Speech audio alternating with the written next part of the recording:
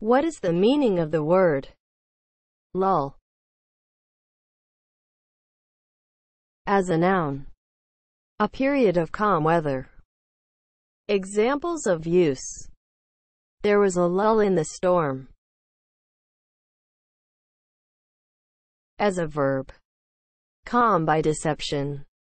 Become quiet or less intensive. Examples of use. Don't let yourself be lulled into a false state of security. The fighting lulled for a moment.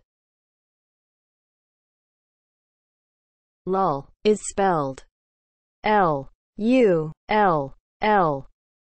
Lull.